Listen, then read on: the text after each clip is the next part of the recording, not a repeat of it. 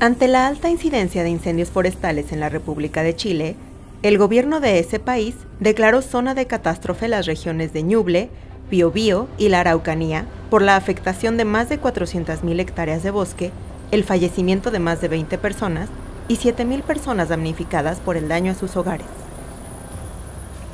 Derivado de esta emergencia en Chile, el presidente de México, Andrés Manuel López Obrador, instruyó a las Secretarías de la Defensa Nacional, de Relaciones Exteriores, a la Fuerza Aérea Mexicana y a la Comisión Nacional Forestal para organizar una misión de ayuda humanitaria.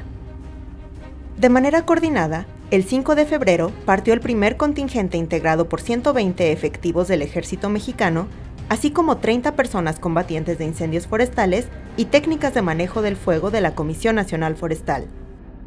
Asimismo, se preparó un segundo contingente integrado por 150 personas combatientes y técnicas también de la Comisión Nacional Forestal, quienes partieron de México el 7 de febrero. 300 elementos fueron asignados para combatir los incendios forestales en las regiones de Biobío y Araucanía, en donde había el mayor número de incendios activos, con complejidad para su atención. Las actividades principales que realizaron fueron combate directo, apertura de brechas cortafuego, rastreo y liquidación de puntos calientes. Asimismo, trabajaron en conjunto con equipo aéreo, maquinaria pesada, carros motobomba y con delegaciones de otros países. Además, el equipo mexicano apoyó en la evacuación de 272 personas, la construcción de 484 kilómetros de brecha cortafuego, así como en la protección de viviendas. Durante 25 días, el personal mexicano ofreció su trabajo, capacidad técnica y ayuda humanitaria a Chile con el apoyo en los incendios forestales con mayor superficie y complejidad. Fuerza Aérea Mexicana 3528 terrestre. Adelante.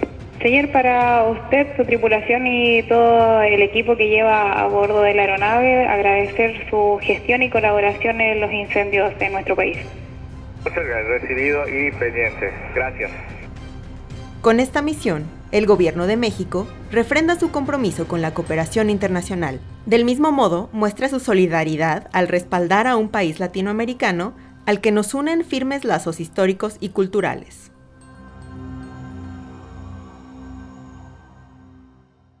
Comisión Nacional Forestal. Gobierno de México.